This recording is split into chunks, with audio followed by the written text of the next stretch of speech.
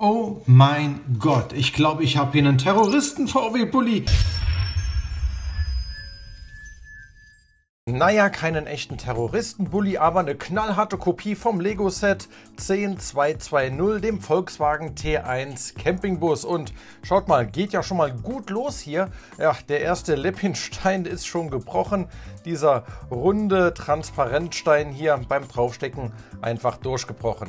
Äh, naja, ich hoffe, das ist hier ein Einzelfall und äh, der weitere Bau geht besser voran. Denn wir haben noch einiges zu bauen. 1334 Teile sind das hier insgesamt und die ersten habe ich zusammengesteckt. Das ist das Heck vom Bulli und hier kommt später mal der Motor rein. So ein paar Schläuche haben wir schon angeschlossen und äh, ja, es geht schon mal richtig voran. Wo es auch richtig vorangeht, allerdings nach hinten, ist beim Preis. Original bei Lego UVP kostet der hier runde 100 Euro, also 99,99 und ihr könnt ihn bei Lepin, wo ich den gekauft habe, für etwa 35 Euro schon bekommen. Ja, macht doch schon mal einen deutlichen Unterschied und auch so ein paar zusammengesteckte Teile machen einen Unterschied, nämlich einen Motor. Ist mal wieder faszinierend, wie aus so ein paar zusammengesteckten Technikteilen mal hier ein Gummibändchen dran und schon kann man einen Motor erkennen. Man muss einfach einen Motor erkennen, denn er sieht genauso aus. Als nächstes wird hier schon mal das Chassis zusammengebaut mit den wunderschönen Fliesen. Ich liebe ja so eine Schwarz-Weiß-Optik hier von den Bodenfliesen. Ist einfach toll retro und so wurde das jetzt auch schon hier verlegt im Innenraum des VW Bulli. Hat alles gut gepasst, bisher noch keine Fehlteile und dann können wir auch direkt weitermachen, denn der bekommt eine richtig schöne Inneneinrichtung verpasst. Muss ja gemütlich werden. Auf der Unterseite, ja, unspektakulär, aber sehr stabil gebaut. Kann man nicht meckern. Deswegen gehen wir direkt mal nach hinten nochmal durch. Dann sehen wir hier die Stoßstange, die wir verbaut haben mit diesen schönen Rundungen. Und ja, der Auspuff, der darf natürlich auch nicht fehlen. Nicht viel PS, aber trotzdem kommt ein bisschen was hinten raus. Ganz simpel gelöst. Das Originalset ist ja ein Set aus der Creator-Serie, deswegen hier kaum Technik. Wir bauen mit normalen, regulären Steinen und das macht richtig toll Spaß. Schaut mal her, was wir jetzt hier schon fertig haben. Eine ganze Menge vom Heck. Da hinten haben wir schon die Aufnahmen gesehen für die Rücksitze und äh, das Heck ist schon richtig fertig, inklusive Nummernschild. Sehr schön und ja, wir können auch, ich wollte schon fast sagen, den Kofferraum aufmachen, aber da fliegt schon wieder ein Teil ab. Na, das ist natürlich der Motorraum und da sehen wir dann den komplett verbauten Motor, habe ich euch vorhin ja schon gezeigt.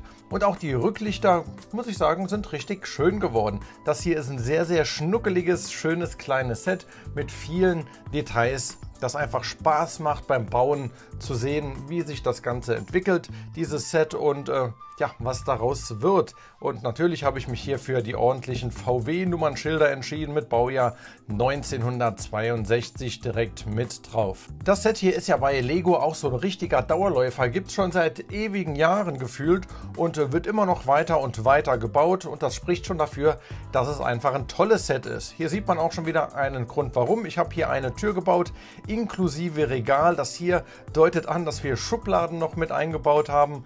Äh, also wirklich schön gelöst. Alles mit Standardsteinen. Hier normale Scharniere für die Tür und die Tür aus vielen kleinen Teilen gebaut, damit man auch hier auf die Teilezahl von 1300, äh, was waren es, 34 kommt. Ja, da muss ja schon hier mit kleineren Stücken auch gearbeitet werden und nicht mit irgendwelchen großen Steinen, die da dran geflanscht werden. Und fertig ist das Ganze. Oh mein Gott, ich glaube, ich habe hier einen Terroristen-VW-Bully. Schaut mal, wie viele Waffen da dabei sind. Ist ja irre, oder? Ich bin mal gespannt, wo die hinkommen. Naja gut, Spaß beiseite. Ähm, ich brauche hier einen Türgriff, der hier noch an die Tür dran kommt. Und das ist ein Teil aus diesem Bogen, nämlich dieses hier.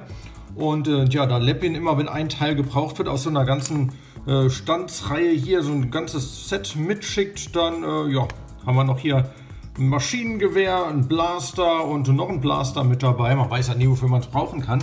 Man könnte ja hier auch den äh, VW-Bus aus Zurück in die Zukunft nachbauen. Wisst ihr noch, die äh, Terroristen, die auf Doc Brown geschossen haben, dann kann man das Teil natürlich brauchen.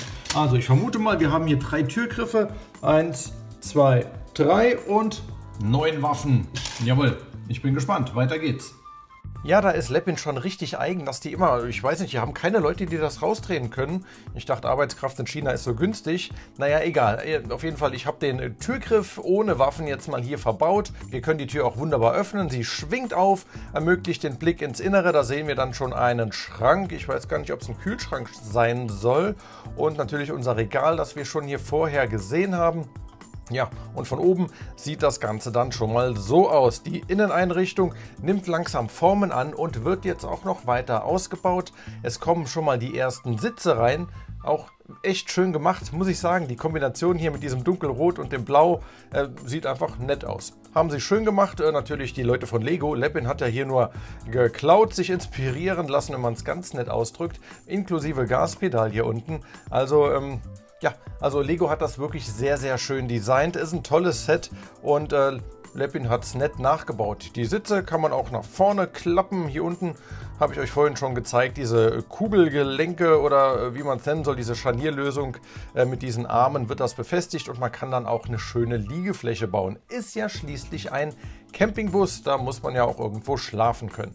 Also hier wurde an alles gedacht und äh, ich denke, jetzt geht es auch mal gleich schon mal weiter hier im Bau, denn es fehlt noch eine ganze Menge. Ihr seht, da liegen noch viele, viele Teile. Ich habe mir schon eine Latte Macchiato reingekippt, damit es weitergeht und wir haben gebaut eine Lampe, einen äh, Tisch, der natürlich nach unten geklappt werden kann, inklusive schönem grünen, äh, was ist das, Weinglas, ja.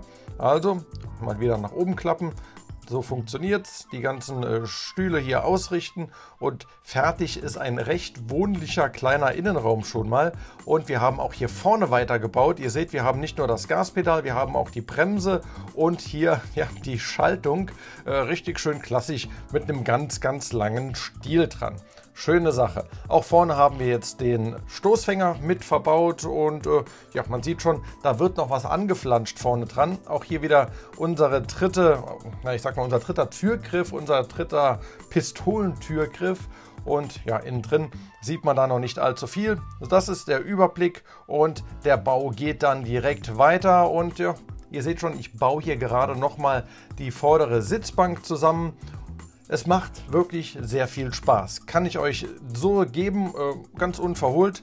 Lenkrad haben wir eingebaut. Es ist ein Set, das einfach Freude macht, dass man da zuschaut beim Selbstzusammenbauen, wie das hier immer, immer schöner wird. Also echt ein klasse Set. Wenn ihr noch was sucht, hier so im Autobereich, den Bulli kann ich euch total empfehlen. Schon mal so ein kleines Zwischenfazit. Hier seht ihr noch was vom Innenraum. Ich habe mir noch was aufgebracht. Das ist ein erster Sticker und äh, ja, sieht aus wie so eine Schranktür, die man hier nochmal aufmachen kann. Und wir haben hier noch einen zweiten Sticker. Das ist, äh, ja, was ist denn das? Das soll, glaube ich, ein T-Shirt sein, das hier hängt. Äh, Make Lego Models, not War. Nette Details, oder? Stickermäßig sieht es auch gut aus, alles recht sauber ausgestanzt, Farbe passt, lässt sich gut kleben. Wunderbar. Dann haben wir hier nochmal eine Pfanne, eine Haarbürste und ja, die Spüle. Das war also hier der Spülschrank, den wir eben gebaut hatten, wo ich mir nicht ganz sicher war. Und äh, ja, innenraummäßig sieht die Hütte langsam schon richtig voll aus. Deswegen bauen wir jetzt hier mal die Fenster dran und die haben auch was richtig Schönes, nämlich Vorhänge. Schaut euch das an, die Außenfront, die Vorhänge hängen innen und wir haben hier mit diesen weißen Slopes dann diese ähm, ja, A, B, C, D, keine Ahnung wie viele Säulen. Er hat auf jeden Fall diesen Außenbereich gebaut und äh, die Vorhänge finde ich echt klasse. Die sind mal richtig schön. Äh, werden einfach nur hier so drüber gehängt, hängen da ganz locker drin.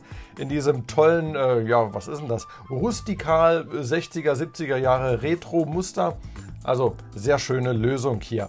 Und ich baue noch mal eine Runde weiter, denn die zweite Seite braucht ja auch noch mal ihre Fenster, denn das ist ja rundum verglast. Wir wollen ja hier eine schöne Aussicht haben in unserem Campingbus T1 oder äh, dem Bulli, wie man ihn nennt. Ja, und hier seht ihr, so sieht es aus, wenn diese Slopes noch nicht angebracht sind. Da haben wir an der Seite hier diese Noppensteine und äh, ach ja, hier drin, da hängt jetzt noch ein schönes Surferbild. Yeah, Surfer Dude, Bully, passt natürlich.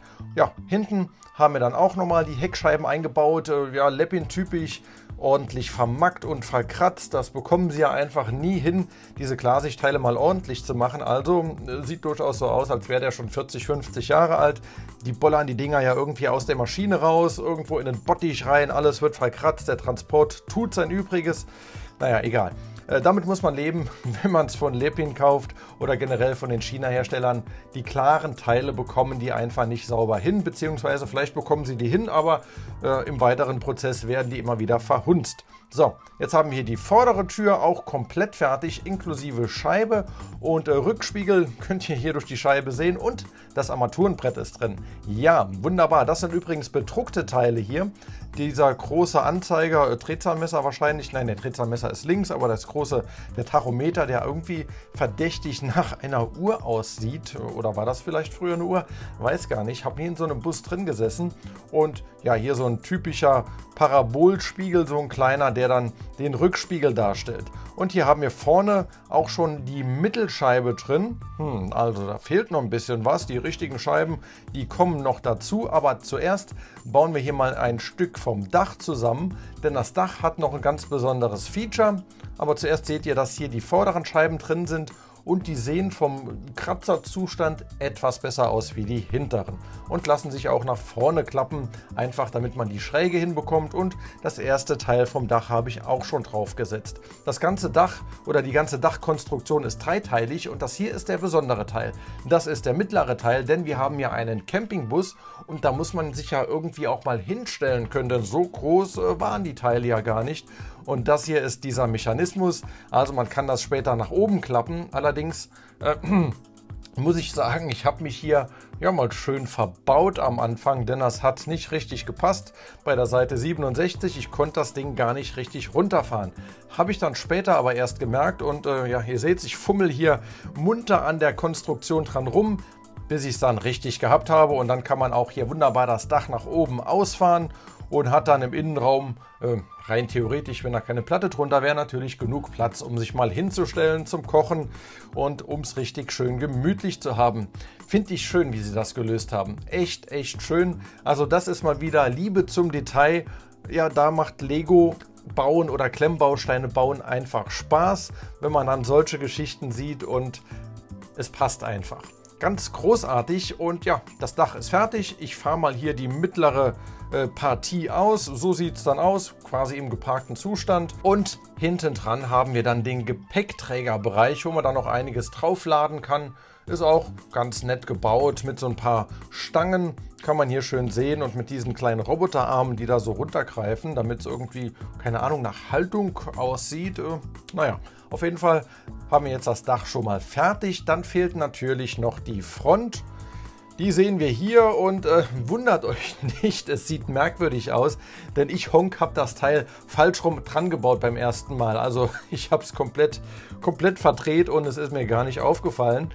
Äh, ja, deswegen zeige ich euch hier schon mal die Teile, die übrig sind. Wir haben wunderbar viele Kleinteilchen übrig und die Vorhänge zum äh, Wechseln und Waschen. Tja, und äh, das Teil hier, wie gesagt, komplett verdreht, habe ich erst später gemerkt. Wenn man so lange baut, dann wird man irgendwann baublind und so leicht äh, debil, glaube ich, was das angeht.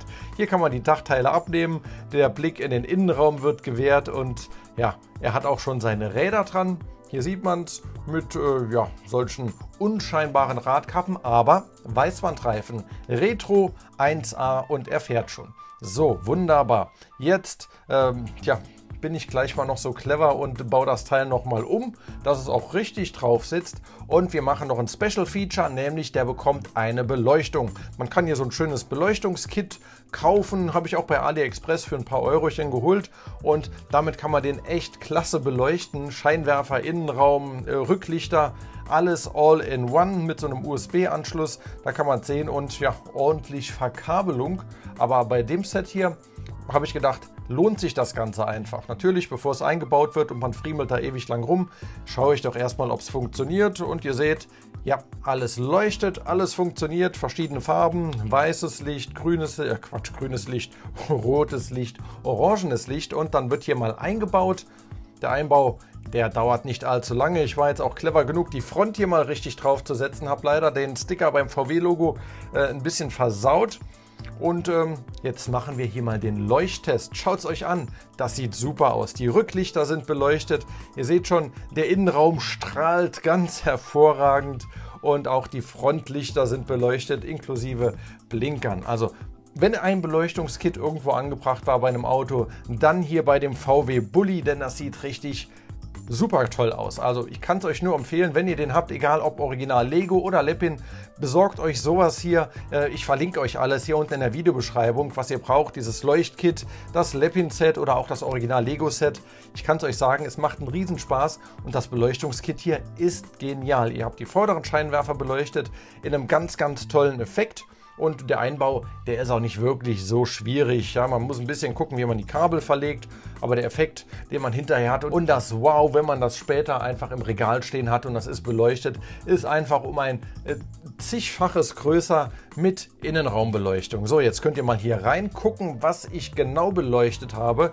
Im Innenraum haben wir oben diese, ja, diese LED-Bar angebracht.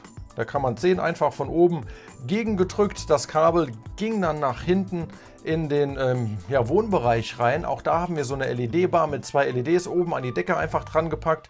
Das dünne Käbelchen, man sieht es kaum oben und ihr habt eine super tolle Beleuchtung. Es, äh, ja, ich kann mich immer wiederholen. Es sieht klasse aus, also wirklich klasse.